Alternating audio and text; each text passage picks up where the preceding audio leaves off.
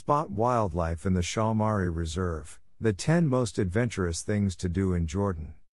Jordan's Royal Society for the Conservation of Nature founded the Shawmari Reserve back in 1975 as a place to protect some of the most endangered species across the Middle East.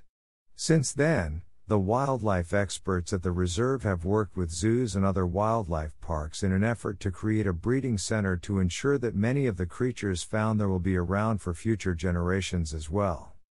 At just 8.5 square miles in size, the game preserve isn't particularly large.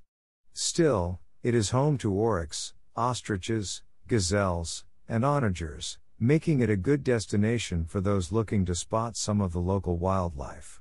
An observation tower makes that surprisingly easy to do, but safari excursions are also an option.